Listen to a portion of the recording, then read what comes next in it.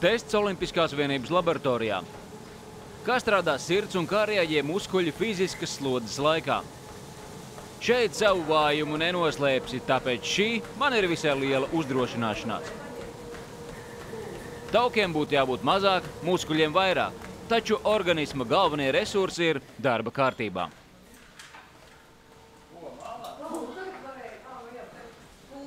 Cik es saprotu, tad uh, man, man īpaši nav ko sev žēlot. Laikam. Jādod tik virsū. Noskatījāmies kardiogrammu, tev ļoti laba. Ehokardiogrāfija, sirds sieniņas, viss ir super. Eh, Pielāgojas slodzē ļoti labi. Tas nozīmē, tu esi adaptēts fiziskai slodzei. Eh, Slēdziens par sirds asinsvadu sistēmu ir tāds, ka eh, droši trenējies. Nekādas aizķeršanās netika manītas, bīstama epizode nekāda nebija. Uh, uz celiņas līdzi izskatījās diezgan dzīvelīgs, un arī sejas krāsa bija tīri lietojama pēc testa, lai gan sagurums bija, cik es saprotu. Nav tā parasti notiek. Mm. Ok, tas lietas, pie kurām ir jāstrādā, man, man pašam ir vairāk vai mazāk skaidrs. Tava rekomendācija, kad vajag nākt pie jums, kurā tajā sportošanas stadijā cilvēkam vajag atnākt un pārbaudīties? Tad, kad viņš pirmo reizi iziet un nolēma sākt jaunu dzīvi, vai kad jau gadu sevi ir nezinu, mocījis vai draudzīgi sportojis, kurā brīdī? Kā ar sevi sarunāties, ieklausīties sevi?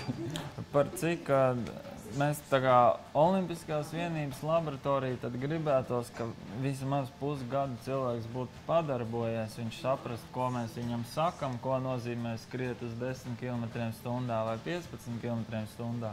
Iz dzīves visreālākais variants ir tāds.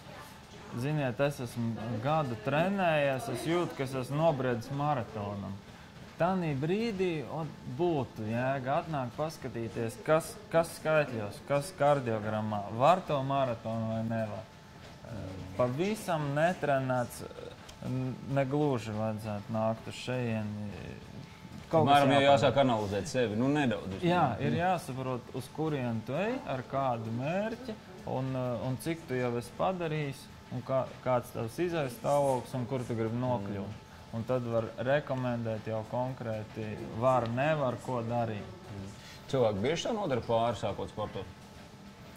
Ir tendence, ir tendence, bet jāsaka, ļoti reti ar saka, letāliem iznākumiem, bet tāda ikdienas muskuļu sāpes un pārgurums. e, Tas bieži vien ir no tā, ka tā slodze treniņā bijusi pa liela. Mm. Ja tu reizi nedēļā ej uzspēlēt basīti un divas stundas līdz grīdai noskrienies, tas, tas nav korekti. Mm. Tas nav korekti. Tā kā būtībā tā kombinācija, kaut kāds izturības veids, nu, strādājot ar sevi, kombinējot ar kaut ko priekam, ar čomiem bumbu uzspēlēt, tas ir jākombinē, jākombinē lai nenodarītu droši vien plak, praktiski nosauc labāko recepti ikdienas cilvēkam, kurš grib, grib būt fiziski aktīvs. Mums ir bāzītē jāieliek kāds izturības treniņš, uzslēpojam, uzskrienam, uzbraucam ar riteni un aizējam, eh, kā teikt, izskrējamies pa laukumu, basīts, florbols, futbols.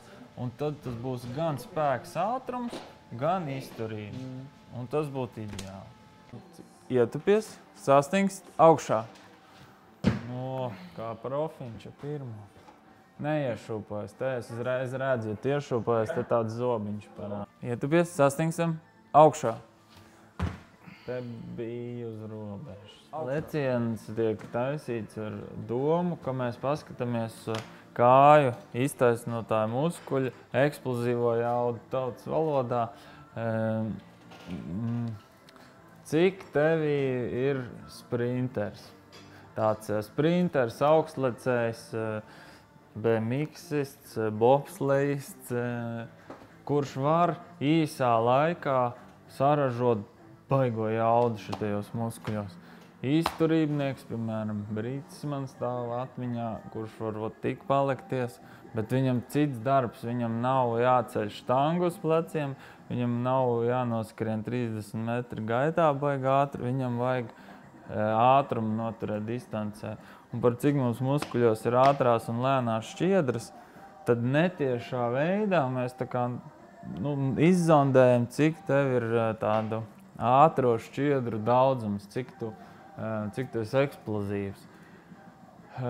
Leciena augstums, teiksim tā, ne bobslīds, ne BMX, es tevi nesūtīju trenēties. Izskatās, ka tev vairāk ir to izturības īpašība. Kāpēc dažādi lecieni ar to ietupienu sastingumu bija? Tu vari izmērīt tīri muskuli, cik viņš spēja uzspridzināt. Tad, kad tu iešūpojies, tu jau izmēri, cik to tā saites, kā tie cīpslis, tā iestiepjas kā atspers un uzražo atpakaļ. Tā saucās elastīgā enerģija. Un šī tas ir atkal, kā tu vēl spēj ieguldīt rokas savā lecienā, kas svarīgi volejbolā, basītī, nu tādos veidos.